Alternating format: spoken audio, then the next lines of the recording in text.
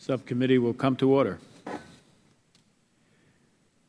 while this hearing is meant to cover the range of issues facing the United States in the region stretching from Egypt to the Persian Gulf, in my opening remarks, I'd like to focus on Iran.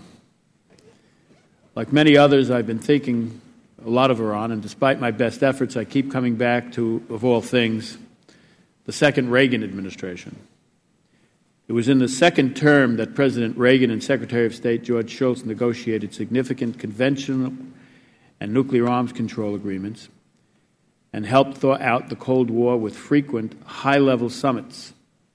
Throughout this period of intensive diplomatic engagement, however, President Reagan never stopped speaking powerfully and frequently about the dissidents, human rights, and freedom. Obviously, the Soviet challenge then and the Iranian challenge today are very different. But what really stands out is the way the Reagan team in the second term sustained a multifocal, steady, and comprehensive pressure on the Soviets. The summitry demonstrated that the problem was in Moscow, not in Washington. The consistent focus on human rights and freedom reminded domestic, allied, and Soviet audiences just how ugly the Soviet regime really was. Following some terrible strains in the transatlantic alliance in the first term, the Reagan administration worked hard on sustaining our relations in both Europe and East Asia to ensure that the Soviets had no political escape valve. Following the initial massive spasm of defense spending in the first term, the steady deployment of U.S. and NATO forces that were technologically passing by the Soviets simply couldn't be ignored. And of course, the intelligence community made life in the Kremlin miserable, not only by stealing secrets, but organizing and supporting opposition to the Soviets wherever it could take root. So, in thinking about our Iran policy today, what strikes me is how thin it seems to be. We, see, we seem to be depending on just one or two policy elements when, in fact, many more are possible.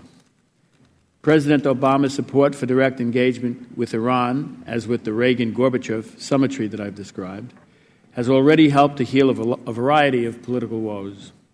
But by itself, diplomatic engagement still leaves too much initiative in the Iranian hands. Likewise, with economic sanctions. If the Iranians remain calcitrant and sanctions are applied, no matter how crippling, and I'd want them to be absolutely suffocating to the regime. The initiative is still left to the Ayatollahs to decide when they've had enough. But what seems most puzzling to me is that the administration appears to have absolutely nothing at all to say about Iran's green movement. Staying out of the way in June was smart, but the complete silence since then is, to me, inexplicable. Support within Iran for the nuclear program runs across the spectrum. But there's a strong case to be made that the Iranian regime went to Geneva and has bargained since then, primarily because of their concern about domestic stability rather than fears about international sanctions. I've also heard from many leaders in the Middle East who complain that the Obama administration doesn't seem to have any better plan for increasing the multilateral political or security coordination in the Persian Gulf than did their predecessors.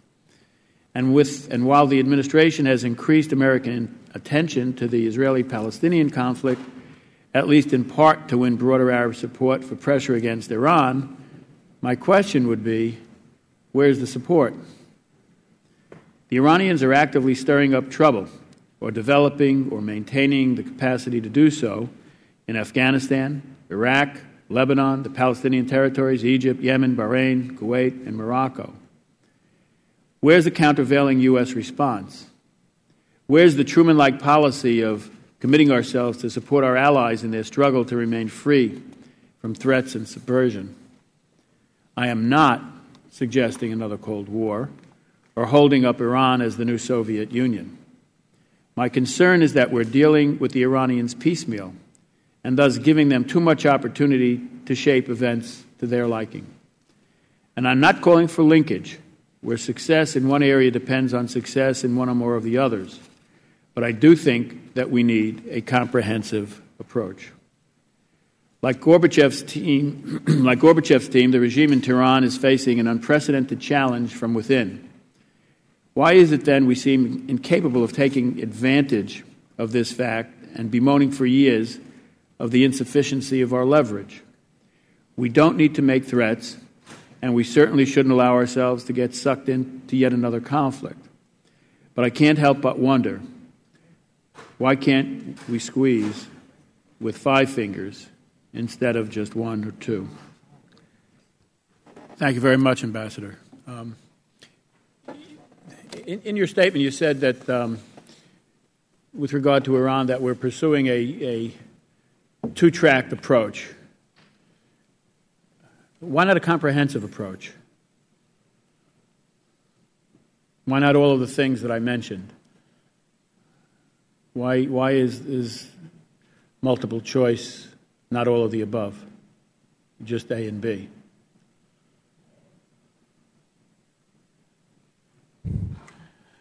The dual track approach I, I, mentioned is the one that we're pursuing with the, with the P5 plus one partners. That, and it's focused primarily on the nuclear file that causes so much, causes so much concern in the region and globally. But let me, let me assure you, Mr. Chairman, that we have, we have a pretty comprehensive understanding of the problems that Iran's behavior poses, and we're addressing these in different ways. I'll just mention four problems. One is Iran's nuclear ambition, big problem. A second is Iran's repression of its own people, its violation of its yeah, own people's no, no. rights. We'll, we'll stipulate that, that you've made those points and that they're, that they're clear. I'm talking about the approach to those problems. Um, why not? Why not have a policy where that we are we are not only helping but utilizing the fact that they have this green movement going on over there? Why not utilize the fact that they have all these other countries that are, that are living in fear and trepidation of them every single day and work to line them up? Why not give an assurance, Truman like, to, to as many countries as we can there? that, um, that we are their protector and will protect them against any threat by Iran uh, under the following terms and conditions, and put in maybe a word about participating in sanctions or, or anything else that might fit in that. Why not all of these things at once? Mr. Chair, I believe we are addressing these issues that you, that you mentioned. Um, I don't know if, for example, there's much greater international emphasis now. I, have not, I've not, with oh, all due respect, I've not heard a a, an utterance about the green movement there. So I don't know how you're pursuing it, unless are we sending secret messages to the green movement or something, or? On the green on the green movement per se, of course, this was this was um, an indigenous Iranian movement of the Iranian people, very heroically going out on the street. It was not anything orchestrated by the international community. Have we have we said that? Y- yes. To. This, I think that we've been clear. We've been saying it to each other.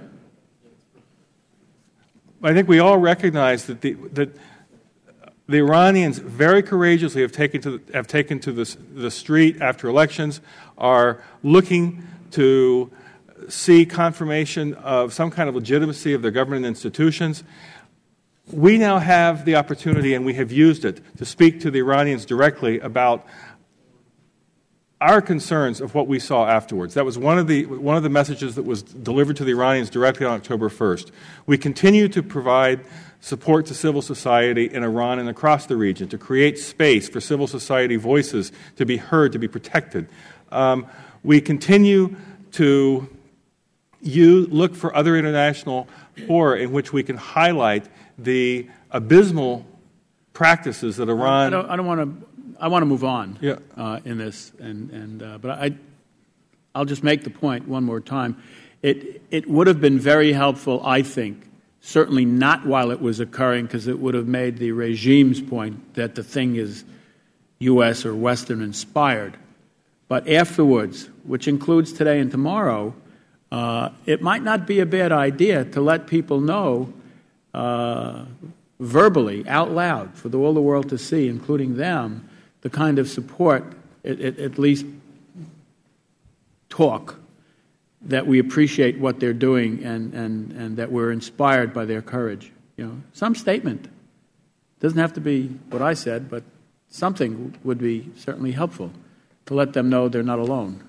Because, you know, I think everybody understands that that's probably in the interest of moving the ball forward, uh, except we're not going to move the ball forward unless there's somebody there that appreciates it being moved forward and these people get some kind of encouragement. Let me, let me, um, let me ask you uh, a question about uh, Lebanon, um, and, and then we'll move on. Um, in the, in the, um,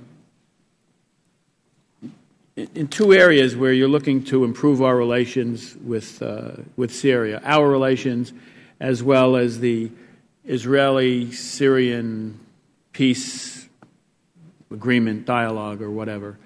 Uh, are we going to be willing to pay for that in Lebanese coin? The answer is unequivocal no. Our, our discussions with the Syrians, our dialogue with the Syrians, is not going to come at the expense of Lebanon's sovereignty. We are not trading away Lebanese sovereignty in order to gain something I, with Syria. I, Absolutely not. Great. I wanted to hear that on the record. Uh, uh, is the administration still committed to the full implementation of UN Security Council Resolution 1701?